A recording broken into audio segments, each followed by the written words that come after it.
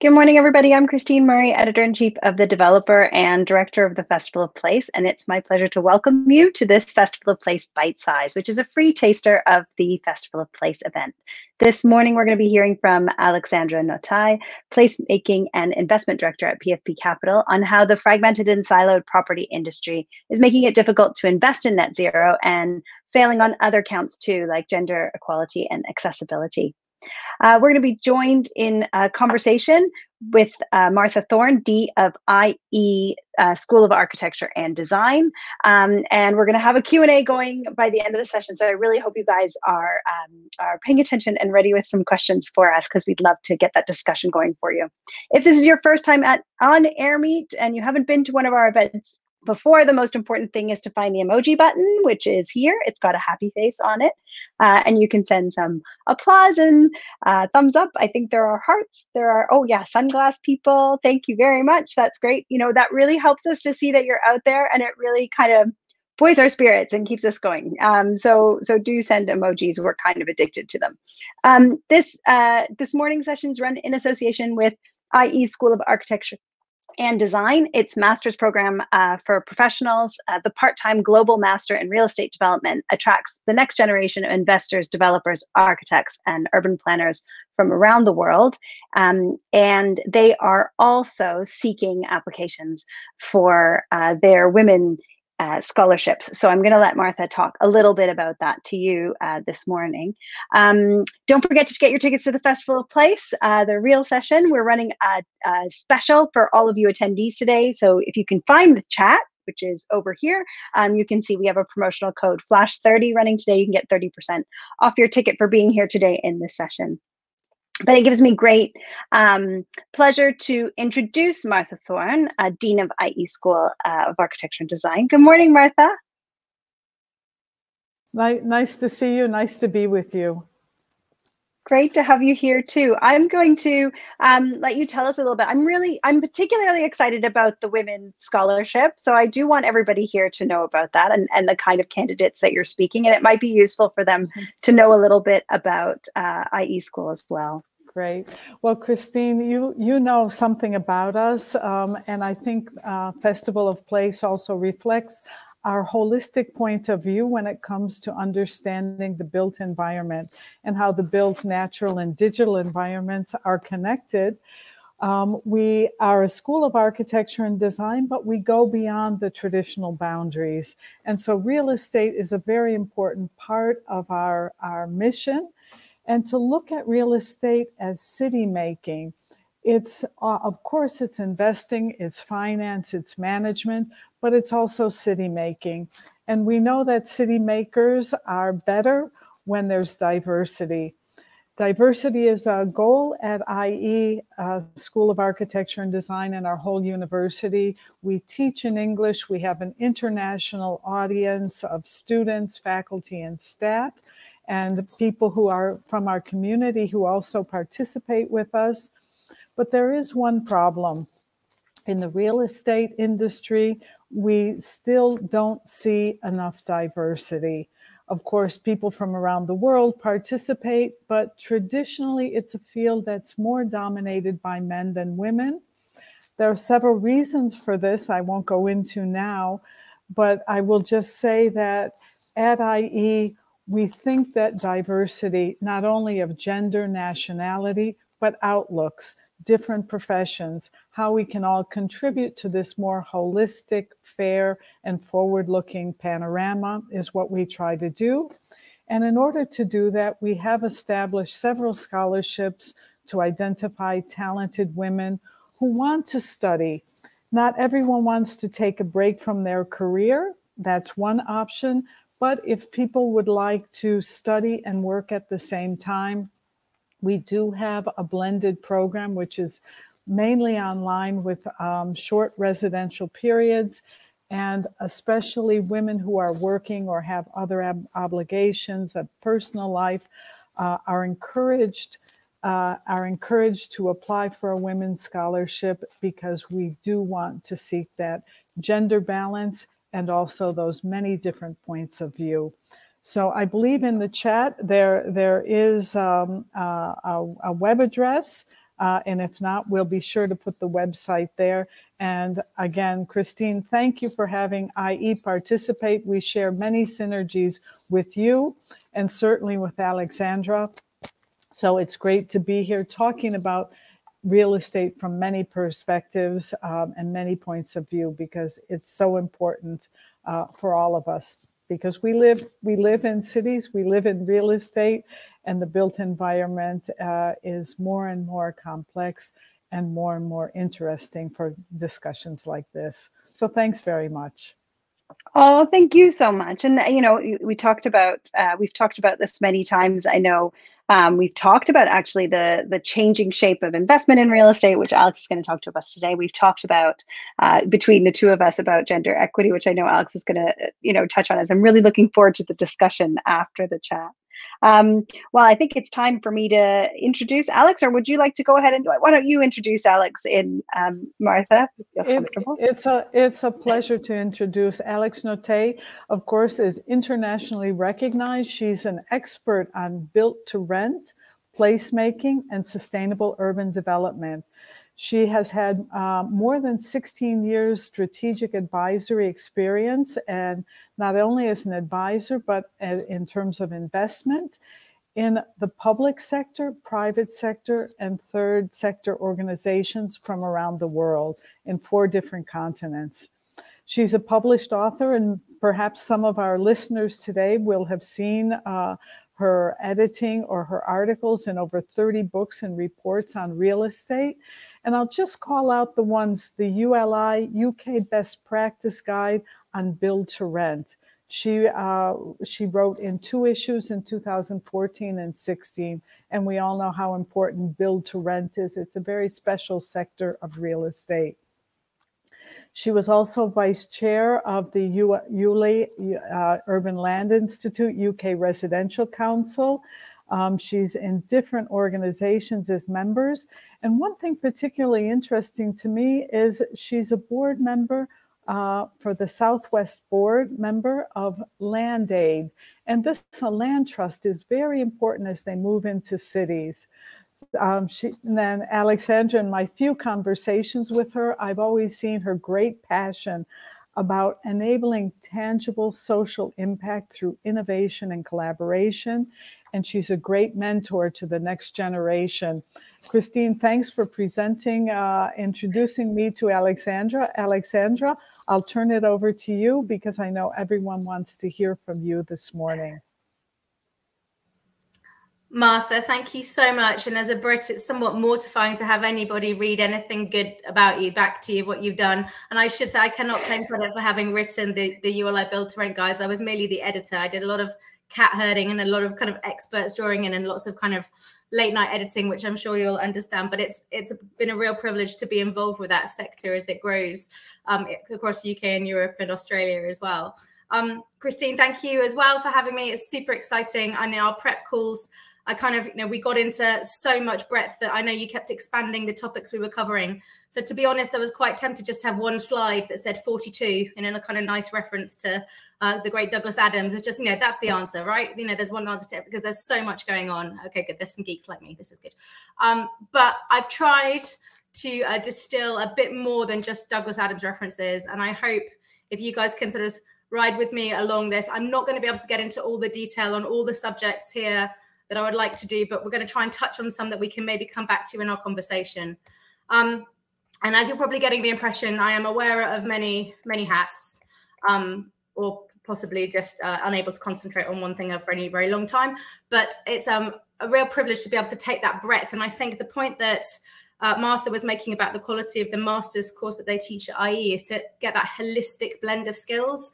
And one of the things that's made me very successful and, and enjoy my career in real estate so far has been being a generalist in a sector that is traditionally very, very highly specialized. Those specialisms are essential in terms of professional expertise, but can sometimes limit things where you, you don't know what you don't know. And when we're dealing with cities and places, it's really important to have that breadth. Um, now, there is this negative stereotype, unfortunately, for a reason of what a real estate investor and developer is. Um, you can go all the way through to kind of the, the Disney Pixar movie Up. Um, but what is real estate? I quite like this uh, sort of little graphic from the balance a couple of years ago to remind us that it's kind of everything above, below, and all sort of different types, and that we are increasingly seeing new um, sort of granularization of asset classes emerging across these traditional core ones. But these points here that I'm pinging onto the screen are all some of the reasons why when Christine asked me, you know, why can't just get on with it? Why can't we say just deliver affordable housing, just deliver net zero? You know, you have the control. Surely if you have the land, you can just do it. There's a huge range of reasons that we could spend an hour on each of these as to why it's not working.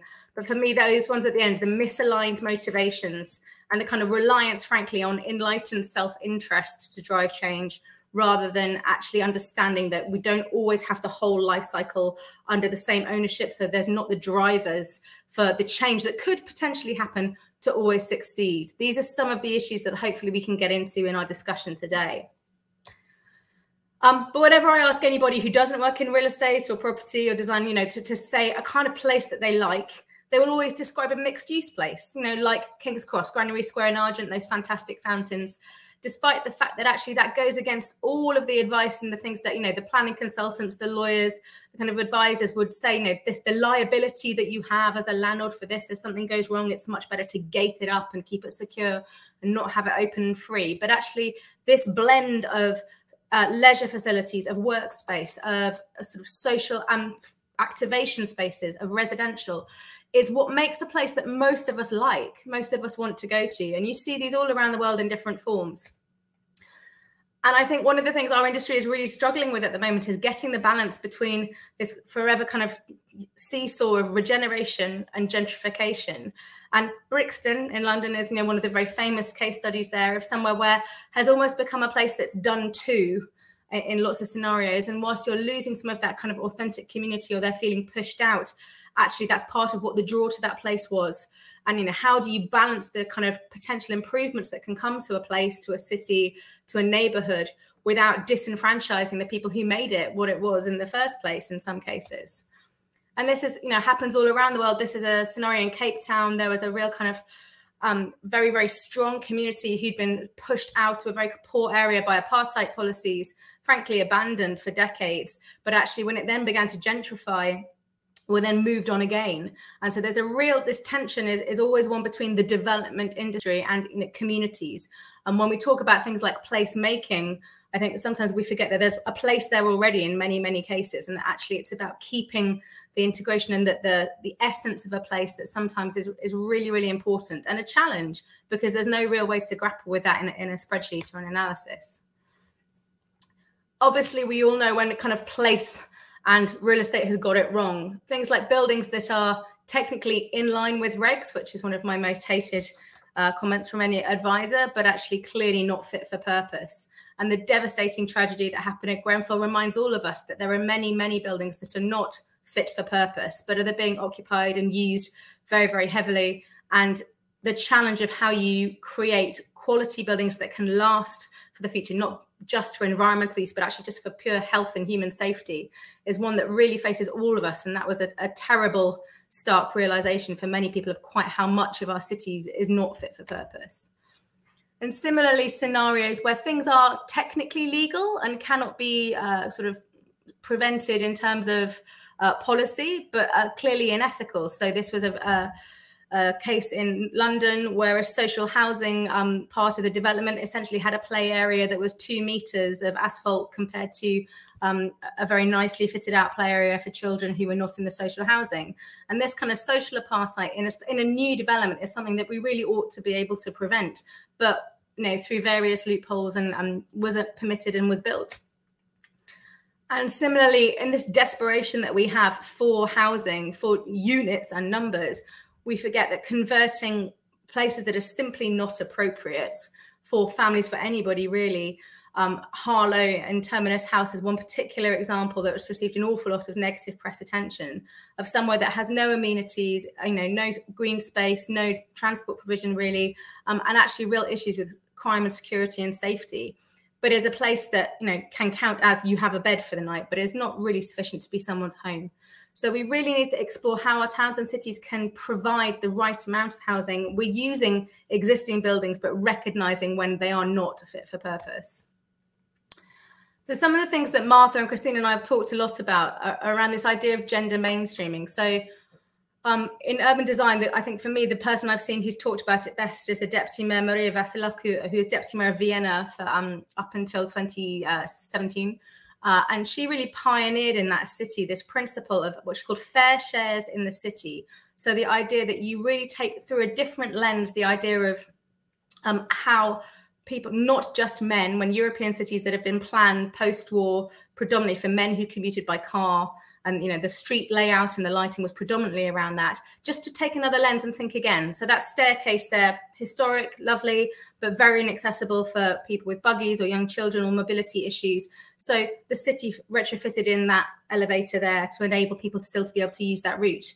Similarly very simple things like allowing seating spaces around and in amongst play areas that really encourage teenage girls who are often really disenfranchised from public spaces to feel part of those spaces. Um, that's something that a UK charity called Make Space for Girls, which was only founded last year, and I know Christine has had talk at um, Festival of Place before, have pioneered some really interesting work in the UK to realise that a skate park is not sufficient provision for all young people. I'd also love to get into a bit more time if we had time, but the work of Transport for All and other advocacy bodies recognizing the need for accessibility for people with other kinds of mobility issues. It's very frustrating to see on Twitter this week that the opening of the Northern Line extension in London uh, to the Battersea Power Station station includes lifts that actually aren't wide enough for kind of large wheelchairs to get into your turn in, which just seems like such a missed opportunity.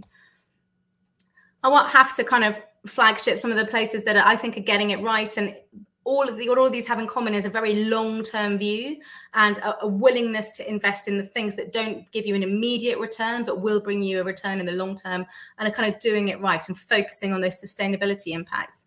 And so this the Malings in newcastle is by one of our jv partners igloo regeneration in really really granular community focused um, development on the waterfront regenerating a kind of former industrial area. Um, where I live in Bristol, this is where I spend a vast amount of time drinking too much coffee, and eating, but has activated again what was a kind of disused gravel car park in a sort of light industrial area that has really become a very vibrant hub with a fantastic mix of social housing and for sale housing and rented and loads and loads of leisure and retail and a, really thriving mix that's come up very, very quickly um, as far as it looks from the outside, but it's really successful. And uh, New Islington in Manchester by Urban Splash is another fantastic example, really pioneering sustainable design as well. And so to quickly pivot to that, all of those things show that we can do net zero. And this is one of my favorite memes on the internet. I don't know who to credit it to. I couldn't find a source, but I think everybody is suddenly an expert now in the kind of ESG world and, you know, getting to net zero. And there's lots of kind of definitions and policy being thrown around. I just wanted to highlight some of the reasons why it can be done, but it's a bit more complicated, but what some of the drivers are in the real estate sector and actually preparing for this reminded me that 10 years ago i worked on this report which was kind of convened by arup for the world economic forum all about getting at that point commercial real estate to really focus on the benefit of retrofitting. And i dug out this quote which slightly depressed me because i realized that i doubt that we're much further on than retrofitting 1% of existing building stock and that the failure of, for all those kind of range of reasons is what I touched on earlier. Those misaligned incentives that make it very, very hard to really catalyze the change when you don't have consistent ownership over the life cycle. Um, it's very, very hard to get people to integrate and agree on how to deliver these significant changes, whether they're environmental or cultural. There was also some ULI research, the Urban Land Institute, in 2014 by Professor Sven Bienert, which is really fantastic. I recommend you kind of dig it out. But you know, he then seven years ago was looking at um, research that cited global insurers assessing over 100 billion a year of losses, direct losses related to climate impact on real estate. And that actually real estate values account for three and a half times GDP of developed countries. And so those increasing number of incidents to do with climate are having huge impact on the portfolios and actually the bottom line being hit of large real estate investors and owners is starting to i think was waking people up to the idea that we needed to address climate in more than a token way um, and i think that this kind of trajectory of increasing numbers of events we know just this year wildfires in australia and california horrendous floods across china and uh, germany in particular a terrible drought in bulgaria you know we are seeing the the frequency and the extremity of these climate events uh, it's right in front of us now. This headline just from last week, a friend in the US sent me that actually federal flood insurance rates are now likely to become significantly higher, um, as well as our own kind of utility crisis in the UK at the moment. So, hitting the bottom line, unfortunately, for all the kind of motivating factors it should be, this is having an effect. I won't go into too much detail. There's a ton of great webinars from people like AREF, the Association of Real Estate Funds, if you want to have a look in more detail. But the Financial uh, Stability Board had a task force in 2017 on climate related financial disclosures. This is what is pushing the financial real estate investing sector, the pensions, the insurance sectors.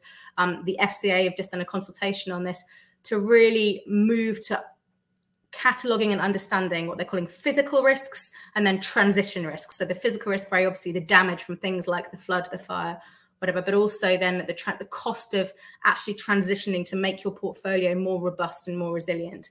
There is an acknowledgement that it's no longer discretionary now. This is something that has to be done, and that there will be material costs that need to be met that they can't be avoided. And so there is a ton of resources out there, but this is the thing that I think is now driving the institutional investment market in real estate to really, really look closely at their their uh, responsibilities and, and their portfolios.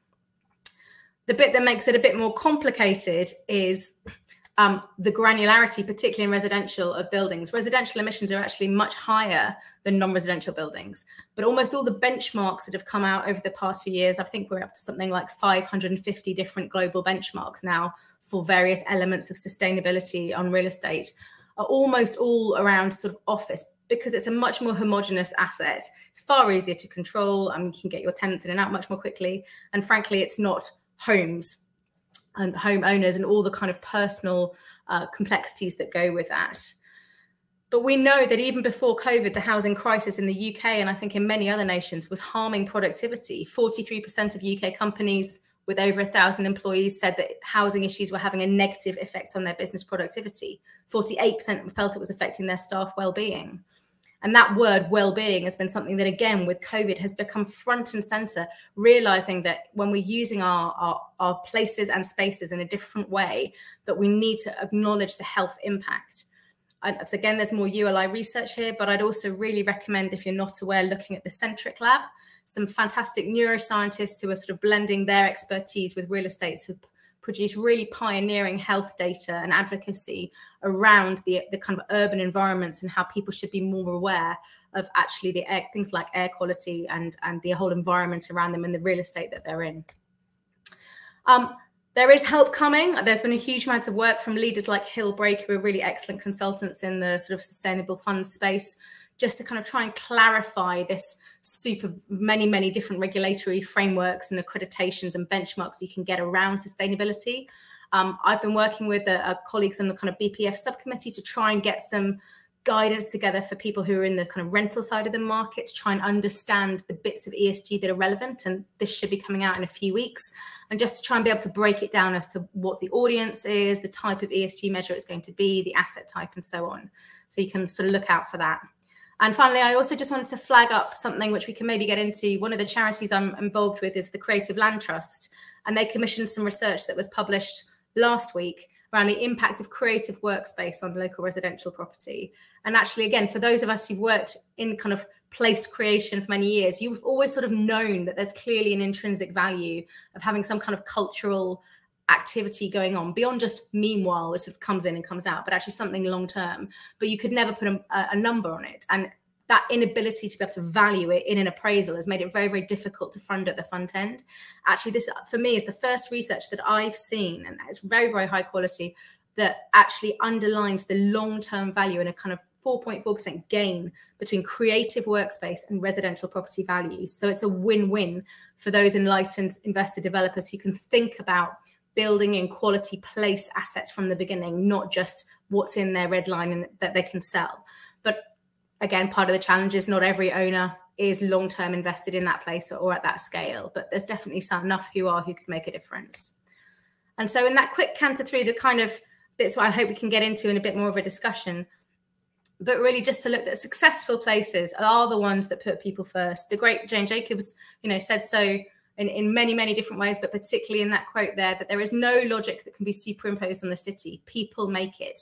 And it is to them, not buildings, that we must fit our plans. the whole point of the kind of this net zero race is to make our environments and our places work better for the people who are already there and the people who are coming to them. And so that's avoiding more disasters like Grenfell Tower, but it's also making sure that what we're building now that's new has good air quality, good uh, kind of transport options and infrastructure, good accessibility. And um, I hope that we can dig a bit deeper into some of those ideas um, in our discussion. Thank you so much, Alex. It's um, what a whirlwind. There's so much for us to, to start dig digging in there, and I, I can't wait to get people's questions as well. Martha, do you want to share some first reactions? Yeah, Alex, uh, thank you so much. And Alexandra, I, I really appreciate your presentation because it's one of those that um, it's not, I'm not going to be thinking about it today. It's going to go on and on in my mind, and I'll probably be thinking about it uh, for a long time. Um, there, there are two questions I had. Let me start with the first that has to do with time. Um, I, I, really appreciated that you spoke of the different agents, different industries, different factors involved in real estate. But when we look at time, it seems to be different for everyone. We know that politicians have a term in office. Um, we know that law um, it can uh, be more, it ha can have more longevity, but it takes a long time to get laws into place. Investors are thinking of their in uh, return on investment. It could be seven years, 10 years. Sometimes it's even shorter if they're trying to sell into uh, uh another market. And then people, depending on the group, the country, there, there's uh, the use. People also have different time frames. So could you talk a little bit about that? Um, do you see any coming together of goals, even though we do have different time? What are the crucial aspects in terms of these different uh, clocks that we have running? And if you had to touch something, uh, which one would you touch? Where would you? Where's the most sensitive one, and where would you push? Oh, that's a great one, Martha. okay, I'm going to start with the people bit because that's um, and so for me, it's the the demographic shifts that we've encountered in every city in every country that we've always, you know, our, our greatest policy making brains have always failed to anticipate. Whether that's road use or formation of single households or population expand just growth through migration and sort of natural um, sort of living longer we are woefully bad at projecting kind of demographically what need is going to be. And I think that's a real challenge when you're developing these illiquid assets that are very hard to change once they've gone up. Um, you're right, investment horizons are a really critical one. If you can get a long term institutional investors, so pension funds are very, very keen on things like build to rent because it's essentially a liability matching for them that they can house people for the long term. They want it's relatively low risk compared to something like office or hotels at the moment. Um, and actually, there there is that long term investment which allows you as a developer to actually put in kind of more stuff around it because you've got someone who's got skin in the game for longer than a traditional house builder model, which frankly is about you know build it, sell it, build it, sell it, and you know that you're maximizing your margin, but you're not really that engaged with the long term place. Um, so yes, aligning those horizons alongside the political ones is really key. The one that I'm seeing most starkly at the moment is this this anxiety over obsolescence risk, and for me, a lot of that comes around some of the tech stuff. So, you know, I, I I use this all the time. But I say, you know, you want to be the the kind of iPod, not the mini disc. The mini disc was technically perfect, and lots of kind of musicians still have them, but you know, it wasn't universally adopted. The challenge is if you're the kind of the the developer who's fit a fixed iPhone charging docking station just before I, I, Apple come out with a new kind of lightning connector. That's a very expensive kind of way to proceed. If you have invested very heavily in a combined heat and power plant because you were told that that was going to be the most energy efficient, but it um, is actually it's burning stuff and is now not considered particularly desirable from a net zero perspective. You know, you'll you'll feel that you've kind of been caught out by that things changing very very quickly so in an industry that that tends to be quite analog and reverts to we'll just do what we know because we can make money or we can know we can see with this, it it it, it suppresses innovation because things actually in that innovative space are moving so quickly. So to your question, Martha, I think the bit that I would try to tweak and change is is trying to find a way where within the regulatory environment where we can have that space for innovation where people aren't penalized. So for the people who have invested very heavily in things like CHP, which was a good solution, or you know, were bought diesel cars because they were encouraged to do so by a government for a while. Um, actually, to be better at handling the transition of going, actually, okay, we were wrong. There's now something better, but we need to manage the transition of that process rather than just having a this is gone now come to this. Um, and I think regulatory wise, that's one of the things that really doesn't work in the so in the UK we've seen this debate around planning has gone on and on and on and on uh, whether or not you think it's fit for purpose or not but it's trying to kind of go for the whole scale shake of a system. Whatever ideas you come up with that's great but you need to be able to transition from the system we have now. And for me that's often left out of the debate. Well how do we get there? Fine we're going to change to a fully zoned system but how do we how do we make that shift? And so i think a bit more focus and attention on the transition which ironically is what comes out very, very strongly in the TCFD recommendations about mm-hmm. transition risk, as well as the physical risk of flooding, understanding the cost that investing in ESG improvements is going to add, but that it's unavoidable. Yeah, Alexandra, that's really interesting because um, maybe another area to press is on developers themselves. Um, the reason I say this is dovetailing on what you just said a lot of development is based on looking to the past and maybe tweaking a model, but saying, well, this building next door sold, it was sold out in record time. I'll do a building because the demand is still there.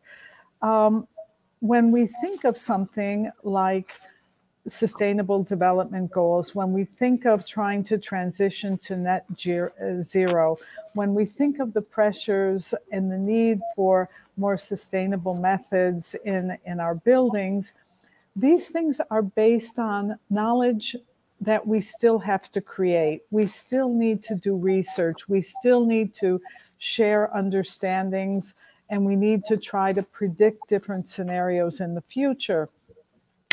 So it seems to me, from what you said, on one hand, development uh, is somehow it has a tradition or it's more comfortable looking to the past, even if it's immediate past, and it has this difficulty of looking to the future. Mm-hmm. Are you optimistic about developers doing that? And how will you get them there? Is it tax incentive? Is it write offs? Is it education? Is it pressure from um, communities? Is it law? What? How, how are we going? How are we going to get there?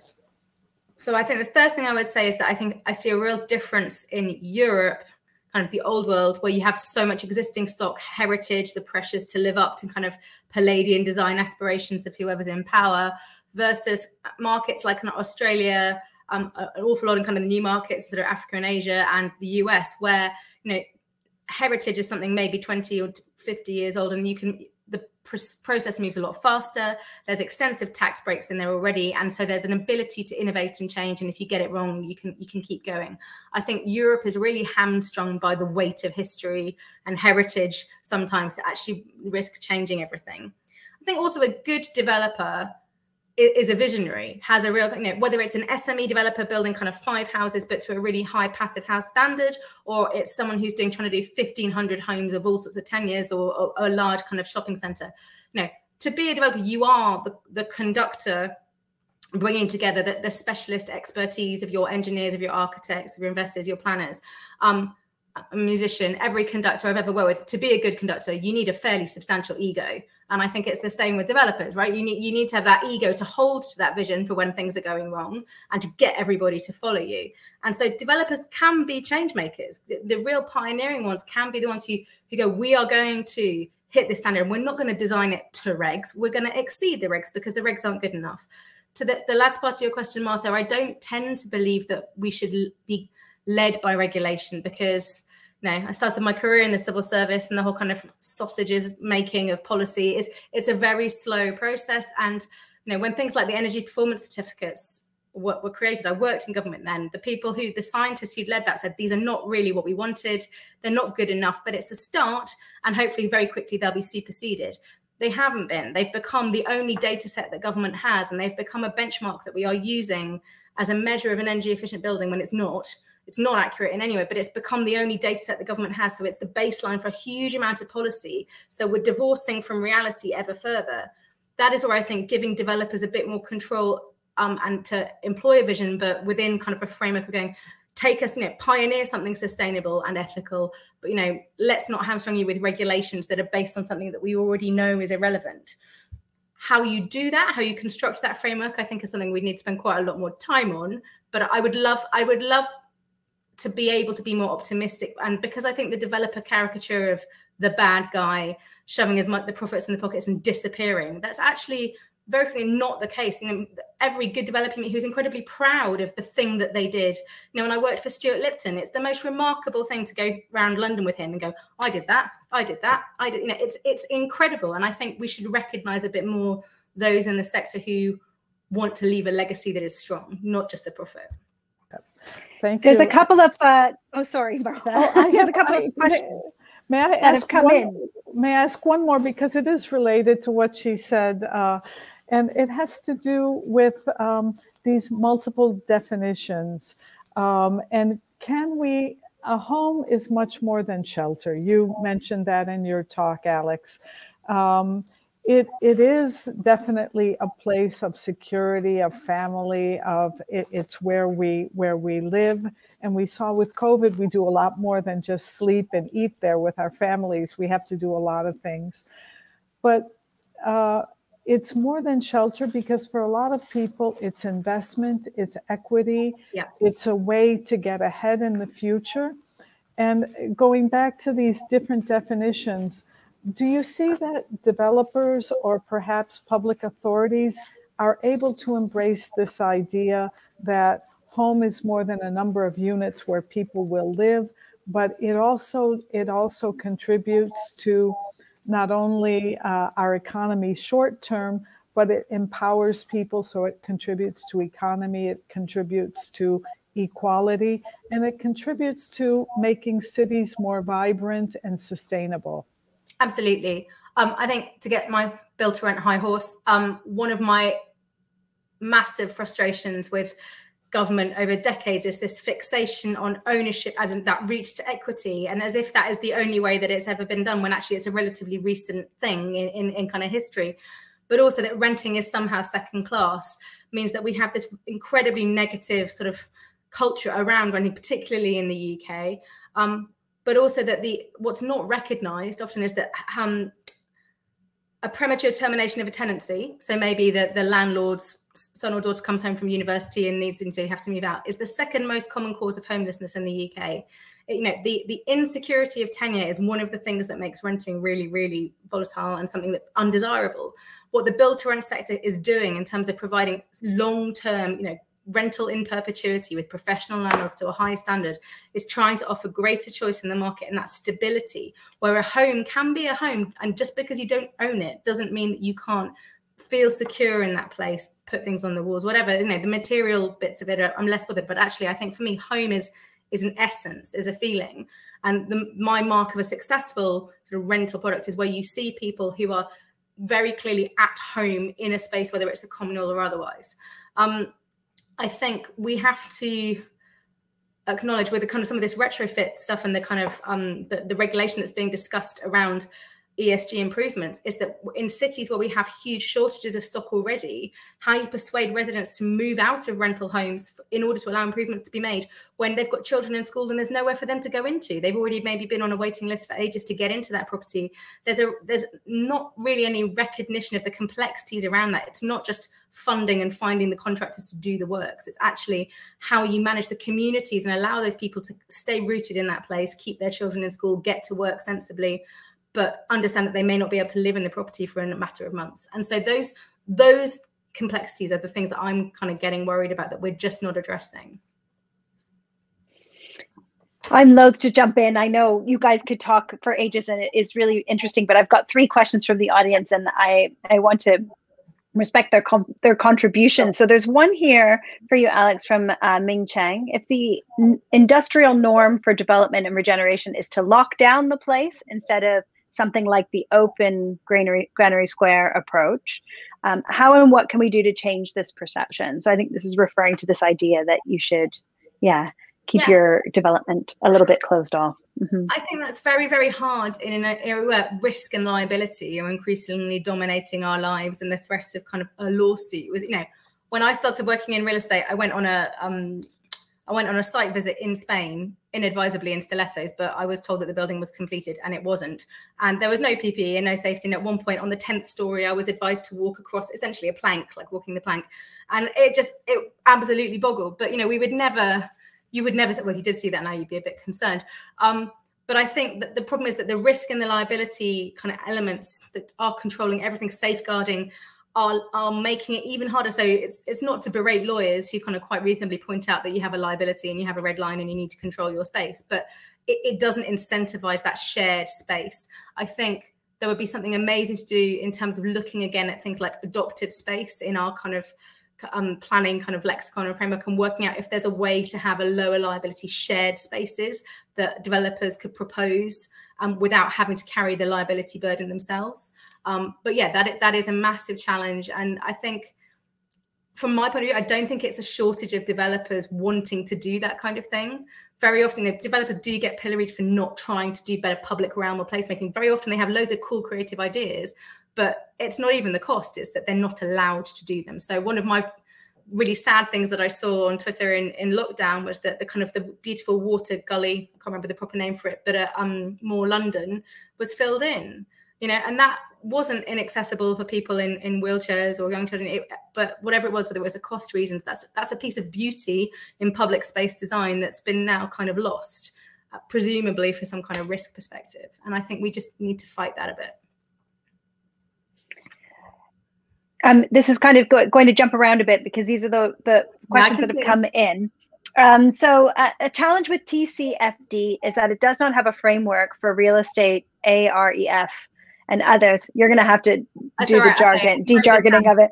I can, I can say it. A consensus around CRREM as a standard for TCFD. How do we get some momentum around this? So first of all, Alex, for for for some yeah, of the people fund out managers there, love an acronym, and, and John is a guru of, of uh, investment fund management, and um, has been a real pioneer of um, actually with a, a huge chunks of European legislation over the years that has forgotten that real estate exists so no, the Alternative Investment Fund Management Directive was something where you know John was one of the leaders who pointed out that they just missed it out entirely. It was all the kind of post-crisis banking regulation. They just forgot on the real estate market. Um, so okay, so let's let's just take this acronym by acronym. What's yeah, TCFD? Sorry, okay, so TCFD is okay. of course the climate change and sort of financial disclosures. The point that I mentioned. So that's basically a kind of a system that many governments are adopting and many financial conduct authorities and services authorities are adopting as a means to try and push insurers, pension funds, um, institutional investors to tackle climate in their portfolios. Uh, John is quite right that it doesn't recognize real estate. So it's got lots of really complex carbon calculations that are pretty much impossible if you've got a portfolio of thousands of people's homes, for instance, or shopping centers. It, it, it's, it's a kind of blind spot of the carbon kind of uh, community who've created this. AREF is the Association for Real Estate Funds. As I mentioned, they're doing a lot of work. I actually sit on the impact investing and ESG committee there. And so we are lobbying a range of bodies to kind of go, hello, we're here. You need to make this relevant for us. CRREM is another is a academic based uh, real estate um, benchmark, a carbon benchmark essentially. Um, again, as I think I said in my slides, it's very focused around commercial. It's sort of it technically could be done for residential, but the resource that you'd need to fill in those kind of templates is very, very difficult. So yeah, there does need to be some momentum. I spent a lot of last month writing responses to the Financial Conduct Authority, pointing out that it's a bit more complex and a bit more granular, particularly for residential real estate, but actually for mix of uses. And so I think this is one of the, the quirks of our industry, right? We've got it's not a static asset. You know, it is a building and it is an asset on a spreadsheet in one sense, but actually it's a it's an almost buildings are these breathing things with people coming in out of them and the energy flow changes and we need regulation that understands that flex and that variability. And whilst it's wonderful to see the sector kind of picking in the financial services sector picking up climate and really going no we're going to try and address this there's a real risk that you have these sweeping uh, regulations that essentially leave huge chunks of real estate portfolios inoperable um, obsolete and actually then people either flog it sell it off what do you do then you push a load of stuff into a kind of gray market that's un, relatively unregulated, there's such demand as we know, and it takes such a long time to get planning and build new stuff. Actually, what you're doing, you're probably making less safe, less secure, lower quality places for the most vulnerable in our societies. Actually, what I think is better is to try and do what we're doing through bodies like AREF um, and others. But you know, I think, as I tried to say again at the beginning, our industry is so professionally siloed. There's huge bodies of expertise.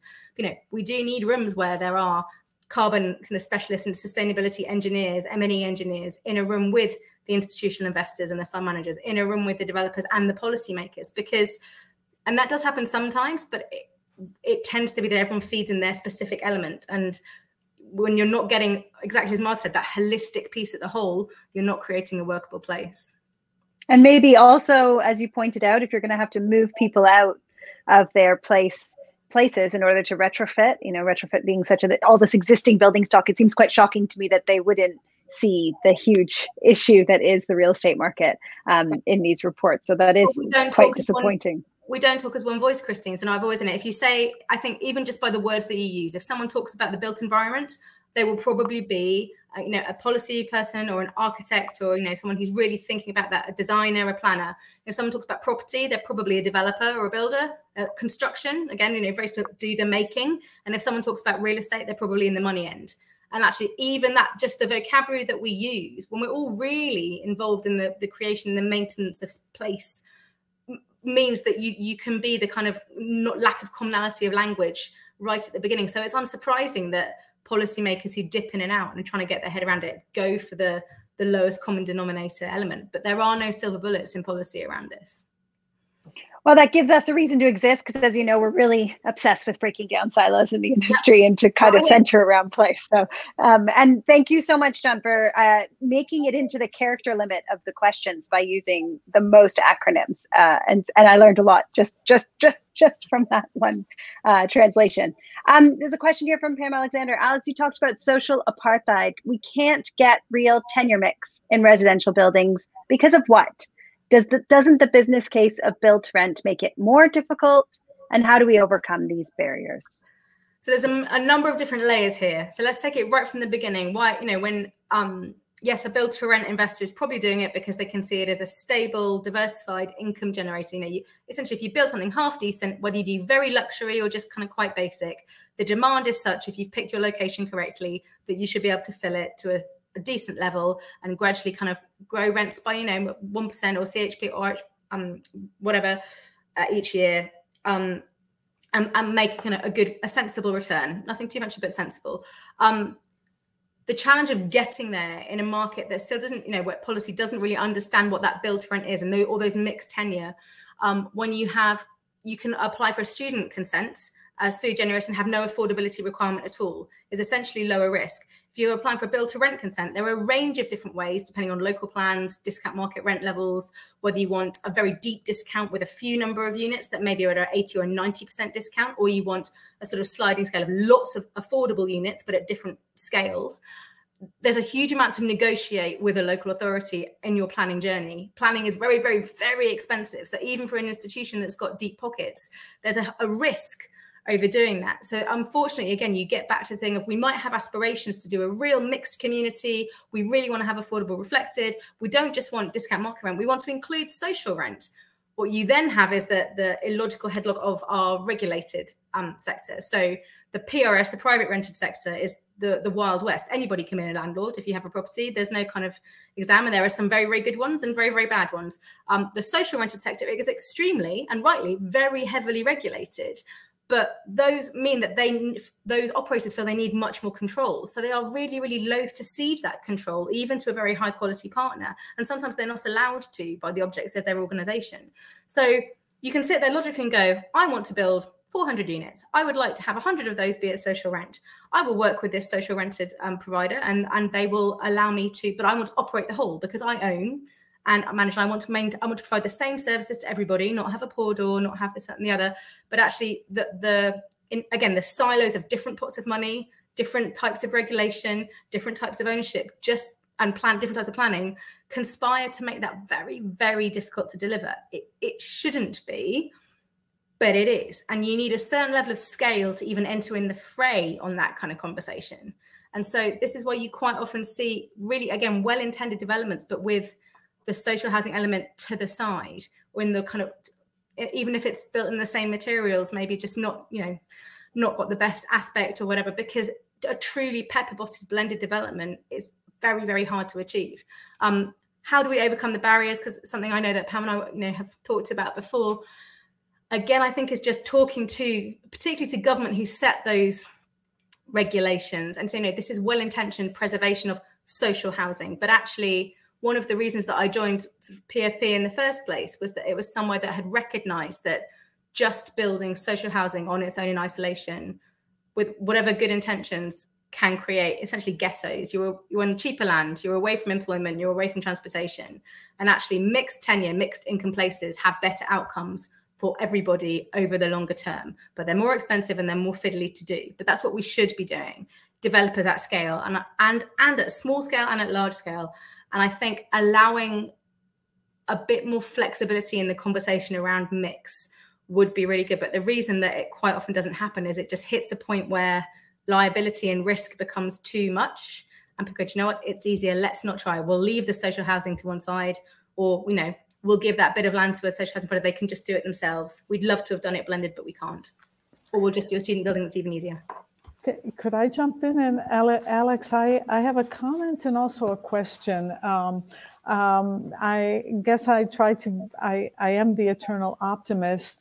And I think that there may be two areas where we could see improvement in diversity in our rent to build or in our rental properties. One has to do if we can somehow change the stereotype of culture. Uh, as you mentioned before, that when we talk about renters, often people think rent is is not the best and ownership is the the real way to go um, i see a country like uh, my my home country of the us is holds on to this idea if you're in a condominium building they want to limit the number of renters because somehow they think they're not as careful or they don't um, they're not invested in community or they're not going to somehow they're they're not going to maintain uh, the building in many ways. But if we could if we could change that culture uh, to a place, a country like Germany that has a huge percentage of rental. I think just changing the balance to more rental rather than just having ownership as being the primary model would be one thing. But the other area is, of course, we know Europe has an aging population. We have a larger uh, demographic uh, percentage in, in senior citizens. And um, I just read an article uh, last week in Bloomberg that talked about um, maintaining values, uh, monetary values in rental property, but it mm-hmm. also talked about um, um, other uh, added value of community, of support when there were younger residents along with, with senior citizens, when there was age diversity. Yeah. So maybe this is an area, and maybe you have some experience about this, because I think often when we use the vocabulary social housing, we automatically think of maybe immigrant families or families uh, where unemployment or temporary uh, working situations is prevalent. And we don't think of the great diversity of different people and different groups in different situations throughout their life. Yeah, absolutely. So, I think that the joyous mix that makes anywhere successful, and I think is almost designed out again it's by the you know viability appraisals by you know funding allocations that require you to hit certain kind of pathways in order to, to be achieved. But actually when you you get to the end product and you see oh, if, if we'd had this mix it would have been so much better. The demography one is really interesting. There's some been um so much work, particularly the ULI have done um, with our residential council, lots on later living. And, you know, the aging in place, nobody wants to think about it. And actually, frequently, the decision to move somebody into a home is usually actually two thirds of the time is not taken by that individual. It's something that's done for them, usually because of a fall or an incident or something. And so, unsurprisingly, then the kind of health outcomes and the, the happiness is, is very depleted. You know, people want to stay in their space. Do they need to be owning that space? I think this has become one of the things that people are so fixated on. You know, you must have the equity in your home. Actually, that that belies a certain prejudice. If you know you're living in a bit of the country where you've had that price inflation in a home, if you own it, and you know that it's guaranteed it. In much of Europe, you know the the kind of enormous inflation that's happened in our housing market in the UK didn't really happen. It's much more static. I would love us to see some kind of innovation maybe at the Treasury that does some of what they've done in Australia, where they take kind of superannuation funds. Bearing in mind that we've only just adopted compulsory kind of pension saving in the UK, and we are a bit behind. But you know, being able to kind of do some kind of matching of a, a proportion of your rent with a pension saving scheme, and so you actually have a rent and a saving that go together. And actually, and an institution that perhaps is a pension could do that quite easily, and there's a shared product. So you don't have that argument that somebody renting is then left without a kind of a nest egg to take them into retirement and later later age. I think the mix of, you know, there's so many great examples in the Netherlands and Germany. Actually, in, in Bristol, where I live, there was a great one where they did old people's home for four year olds and they got a, a nursery uh, in with a kind of an older people's home and, and really kind of got them to work together. And the outcomes for children and old, older adults were great. You know, there's tons of evidence for that. Again, unfortunately, those are both very heavily regulated settings and putting them together without a TV crew and a, a TV production budget is probably quite difficult. And so I, I think the, the intentions of safeguarding often override actually just quality of experience. But I'd love to see more of that. We don't have that many minutes left, uh, but I do want to squeeze one more topic and discuss it with both of you. I mean, you touched briefly on gender equity um, and gender mainstreaming. And we've just had two very, uh, well, this year, we've had two prominent murders in public spaces in London. Um, I, I, you know, we always think, I don't know if it's always true, but we always think that the money leads um, and that investment leads. We talked about that in climate change. Can it, you know, can it drive change for us? And you know, do, are you seeing any any awareness around accessibility and equality in your investment picture? And then I will probably go to Martha because you've got a bit of a global outlook, and maybe you can tell us if you're seeing any uh, bright sparks or examples there.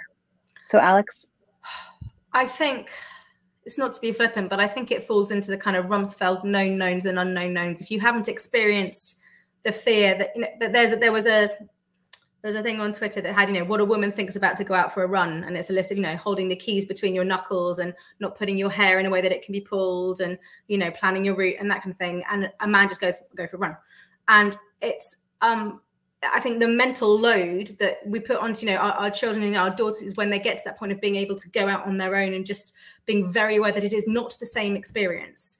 And so you know I remember when house hunting with my you know best friend from school who happens to be a six foot six um, gay man, and he experienced you know places. We'd go to kind of a flat um, that was under some arches in Vauxhall, and he's like, "This is great," and I'm like, "No, I can't live here."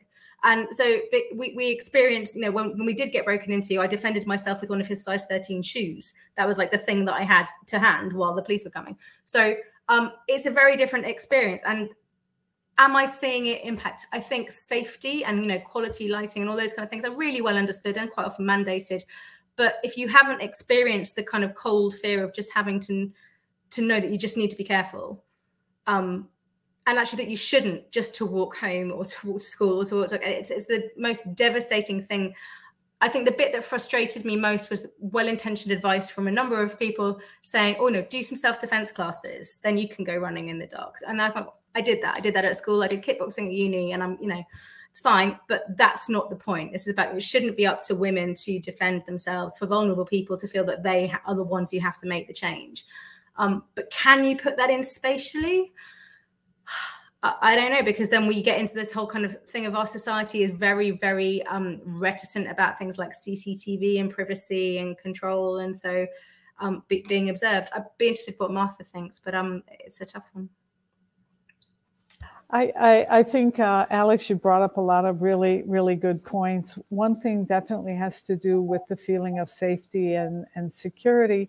I, I also think the concept of accessibility um, and, and again, this goes back to what was talked about in the beginning. It's also a question of definition. And so, if we were to understand that accessibility for women is different than for men in, in many situations, But if we would also understand that accessibility of children is different than elderly people, someone who maybe uh, uh, has a sports injury, uh, a teenage uh, young man or young woman with a sports yeah. injury is needs accessibility in a different way that someone in a wheelchair. But I, I do think that the concept of universal accessibility, in other words, saying that not not to standardize and make a bland environment, but to say that um, we have different needs uh, at different times in our life, different groups, and planning, architecture, design must be sensitive to this. So I think we have to push in that direction and um, make sure in education, in legal frameworks and planning that that we push in that direction. Yeah. The other one um, that we I mentioned the other day to both of you is the idea of um, performance-based planning. And there's an area of Madrid, the north part of Madrid, that will undergo great development. It's a huge tract of land, and it's taken a long time to get to the point of uh, planning permission. But one of the requirements was a study, just like an environmental impact study, was an accessibility study that focused on gender equality. And planning permission would not be granted or would not have been granted if it was thought that the overall planning, that the ideas and the legal framework for this area was somehow discriminatory against mm-hmm. women. So I think those are two areas that we can look to. And of course, um, I think that education is really important. And it's formal education of empowering women through knowledge, through degrees. But it's also um, it's also seeking diversity in our faculty, our classrooms, the documents we use, the bibliography, the events that we hold. And it's also realizing that today uh, discrimination is extremely subtle. And you gave an example of um, when you were looking for a, a, a, flat and with a friend. Discrimination, I think, is so subtle. I, I, I was recently at a, at a wonderful dinner. I was sitting at a table where there were mostly men, and it had to do with real estate and other things. It was surprising to me I was not included in the conversation until I could prove myself that I had something to add. It was assumed that on this table, if you were a woman, you were more in a soft profession, maybe you were accompanying someone, maybe you were there for I'm not sure what reason. Yeah. But the conversation, um, no one asked me anything, no one asked my opinion uh, at, in the beginning thankfully, uh, over dinner, we got to know each other a little bit better and were able to have a very enriching conversation. But I think that it's just an example of how it, it is very subtle, at least yeah. in Europe and, and, and, and North America.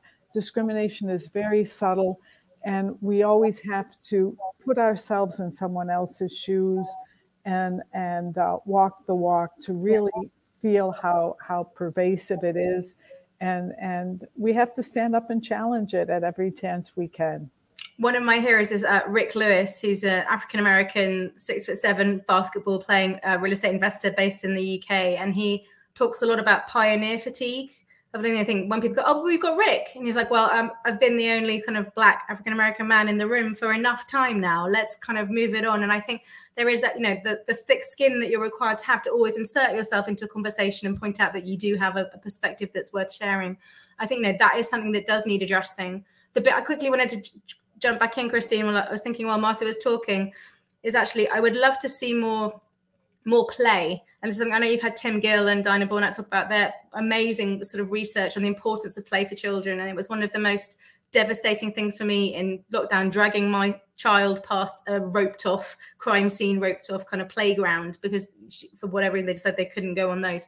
Um, but actually, I think play for adults and, and a way of engaging maybe policymakers and everybody. One of my favorite experiments, I think it was in um, I think it was in Montreal, but um, I'll check but somebody drew a hopscotch square and then filmed it on a street outside a sort of subway station and filmed it for an hour and just how many people kind of jumped on it or hopped or played. And it was it's just the most life affirmingly wonderful little kind of video just to watch the range of people who cannot resist just hopping along something very simple like that. And actually when we talk about good design and public realm it doesn't need to be hugely expensive kit and equipment that needs maintenance. And you know it can be something really simple like that that people can interact with and enjoy.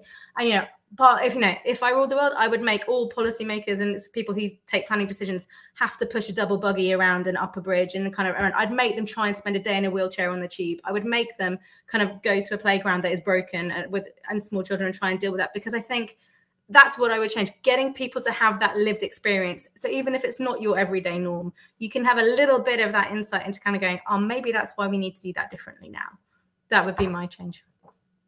A hundred percent, Alex. I mean, I think that the other thing you pointed out there around uh, play, but also just a courteous, a courteous, you know, a courteous built environment, a courteous city. You know, where where you where you if someone came to your home, you would offer them a seat you would make sure that they you know had a glass of water for free uh, you know or a drinking fountain. You would make sure that they could use your you wouldn't say you can't use my you know you can't use my bathroom unless you pay me for your glass of water. You know can we have generosity in our in our cities and places again? And and so much of the victims of violence and the victims of of discrimination in our built environment are are the same kinds of people, you know, who are being edged out in so many different ways. And it's um, but anyway, it's really great to tap into your passion and yours as well, Martha. I know this is something we really share. I want to give a I'm going to be wrapping up, but there's a couple of comments here. I want to shout out to to Jamie um, and to Elizabeth because I, I didn't put your questions, but I thought you made uh, great comments, Jamie, on working in marginal um, markets and trying to get developers to look beyond regulations uh, and and how viability uh, trumps most other things. And uh, Elizabeth talking about research in Letchworth where um, shares in the town were the way forward. And an Australian has suggested it shares in your home as a pension, which is a great idea for uh, renters who, who want to have that sense of equity in their home. We have loads of play at the Festival of Place. This is my little uh, tickets on sale. Don't forget your 30% uh, discount, but I have actually centered loads of it around adult play. We're going to pretend that it's really serious and you're going to be learning, but actually, you're going to be playing and meeting other people and, and connecting with people uh, really important. We're getting this community together in a space for the first time. Uh, and so we've got uh, tim gill doing an interactive workshop there. You mentioned his work on childhood play. He's going to be playing with grown-ups uh, to teach them about um, how we view risk really how we view risk and violence liability and how we make those kind of instant snap decisions and about how we, we need to, to take risks when it comes to planning educated risks. How can we calculate those risks?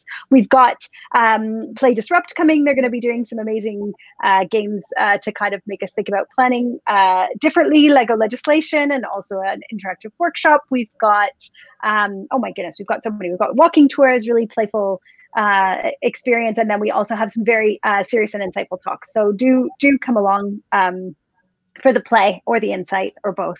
Uh, but you can check that on the website. I think there's a link in it. And uh, Martha, I'm going to pass over to you to, to bring us out. So, um, what are the last things we need to know? We need to go to your website, I think, and look up. And what's the deadline?